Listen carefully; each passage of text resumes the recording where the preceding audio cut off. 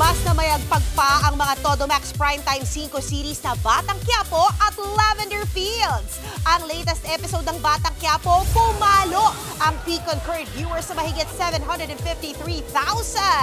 Yan ang sabay-sabay na nanood ng serye online.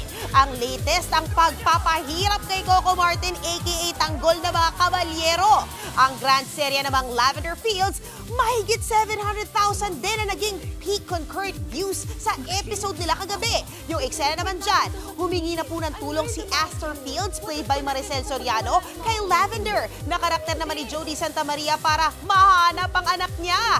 Ang kanilang journey sa paghahanap sa kanilang mga anak, tutukan pagkatapos ng Batang Quiapo lunes hanggang biyernes sa TV5.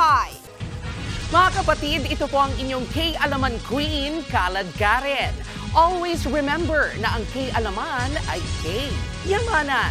Kaya para sa latest showbiz news at dagdag impormasyon, mag-follow at mag-subscribe sa social media pages ng News 5. K? Okay.